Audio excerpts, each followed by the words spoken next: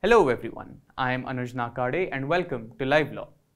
We bring you very significant developments in the Madras High Court about the V. Senthil Balaji case and his arrest by the Enforcement Directorate or the ED in the Cash for Jobs scam. As our regular audiences might know, Mr. V. Senthil Balaji, the Electricity Minister and the Prohibition and Excise Minister of Tamil Nadu with the present Dravida Munnetra Kazhagam or the DMK regime was implicated in a corruption scandal.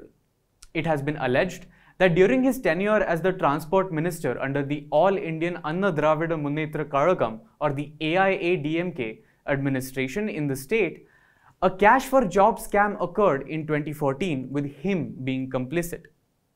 An investigation was launched against Mr. Balaji in 2018 under several sections of the Indian Penal Code for cheating and criminal intimidation, along with the Prevention of Corruption Act. Soon after, the Enforcement Directorate launched an investigation in a money laundering case in relation to the Cash for Jobs scam. The Madras High Court in November last year had ordered a fresh inquiry into the scam, observing that there were irregularities. The court had also dismissed a discharge petition by the minister, noting that there was enough material for framing of charges and that the case impacts society. The Supreme Court, however, set aside the High Court's order and also set aside a direction of the High Court staying the ED's proceedings. The minister was then arrested by the Enforcement Directorate in June of this year and was immediately taken to a hospital for health concerns.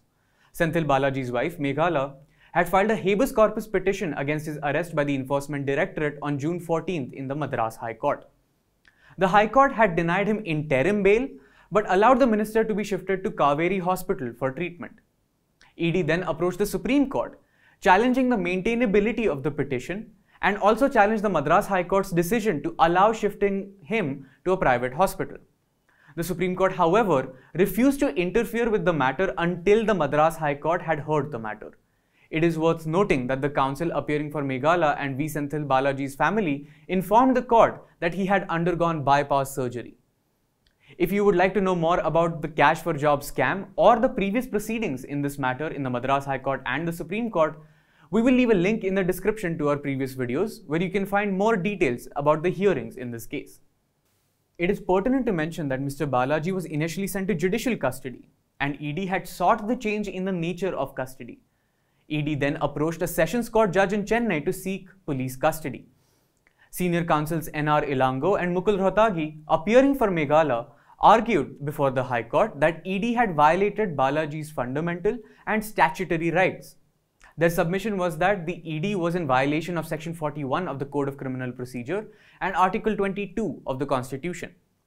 The family contended that the remand order passed by the Principal Session Court in Chennai was a mechanical one, and so the habeas corpus petition was maintainable. It was also submitted that the ED was bound to follow procedural laws as per the decisions of the Supreme Court. It was also argued before this bench that the Prevention of Money Laundering Act did not give ED the power to seek police custody at all. Section 24 of the PMLA only grants custody for 24 hours and in that regard, the order of the Sessions Court granting 8 days custody was also improper. Solicitor General Tushar Mehta, along with Additional Solicitor General ARL Sundaresan and Special Prosecutor N. Ramesh, argued against the maintainability of the habeas corpus petition. ED's argument was that if the trial court had not held the custody to be illegal, the High Court could not interfere in the order by way of a habeas corpus petition. It was argued that though the executive actions can be challenged when they take away fundamental rights, in this case, the Sessions Court, after all consideration of the matter, had passed the orders. The ED argued that they had served a panchnama which the minister refused to accept. The ED also argued that even the Sessions judge had informed Balaji about the reasons for his arrest before passing the remand order, which was on the same day. So, the petitioners cannot claim that grounds for the arrest were never communicated to him during arrest. The ED had also sought for exclusion of the period of treatment while calculating the period for custodial interrogation on the ground that ED could not interrogate Balaji during this period. To this, Balaji's family had contended that there was no legal provision for the same and that once the period of 15 days is over, it could not be extended in any event. The two-judge bench of Justice Nisha Banu and Justice Bharatha Chakravarthy heard both sides and on 4th of July delivered a split verdict in the habeas corpus case. Justice Nisha Banu observed that the habeas corpus petition is maintainable and that the Enforcement Directorate is not entrusted with the powers to seek police custody under the Prevention of Money Laundering Act. She also dismissed the application filed by the Enforcement Directorate seeking to exclude the period of treatment undergone by Balaji while calculating the period for custodial interrogation. Differing from this opinion, Justice Bharatha Chakravarthy held that habeas corpus petition is not maintainable. He observed that normally habeas corpus is not maintainable unless it is shown that the arrest and detention is illegal. According to him, in the present case, the petitioner had not made out a case to hold that the remand was illegal.